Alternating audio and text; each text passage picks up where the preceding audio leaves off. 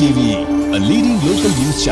વડોદરા પીપળસટ ગામે ઓરસંગ નદીના રેતીની લીઝના ખાડામાં એક બાળકી ડૂબી જતા તેનું મોત થયું છે. સંખેડા તાલુકાના પીપળસટ ગામમાંથી પસાર થતી ઓરસંગ નદીમાં ચાર જેટલી રેતીની લીઝ આવેલી છે. જ્યાં એક રેતીની લીઝ ધારક દ્વારા પિલર બહાર રેતીનું ખોદકામ કરીને ઊંડા ખાડા કરી દેવામાં આવ્યા છે. ત્યારે બપોરના સમયે ગામના જ જગદીશભાઈ બારિયા ઢોર ચરાવીને ઘરે પરત ફર્યા હતા. ત્યારે પાંચ વર્ષીય દીકરી ઘરે ન જોતા શોધવા નીકળ્યા હતા.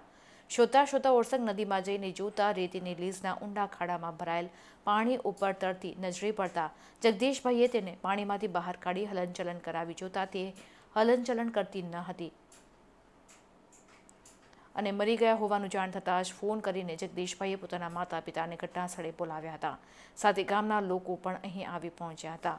પીપરસટ ગામે રેતીની લીઝના સંચાલક દ્વારા ગેરકાયદેસર રેતી ખનન કર્યું હોવાનું પ્રાથમિક દ્રષ્ટિએ જણાઈ આવ્યું હતું અને ઊંડા ખાડામાં બાળકી ડૂબી જતા તેનું મોત થયું હોવાનું જણાઈ રહ્યું છે.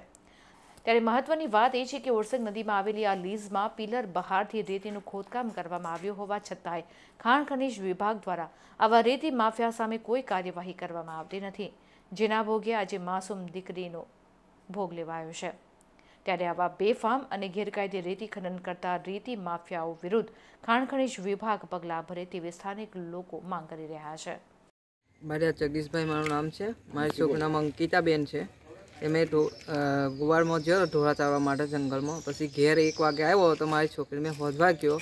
છોકરી મને હોદતી હતી નદી બાજુ નાખી તે મેં નદીએ પાર હોદવા ગયો. નદી ગયો ત્યાર પછી લીજના ખાડામાં તપાસ કરી બધે હોદી ત્યારે લીજના ખાડામાં ઊંડામાં પડી રહી હતી મારી છોકરી. તો અંદર મેં જઈને કાઢી ડૂબાઈને આ કેટલા વાગે બનાવ બન્યો હતો?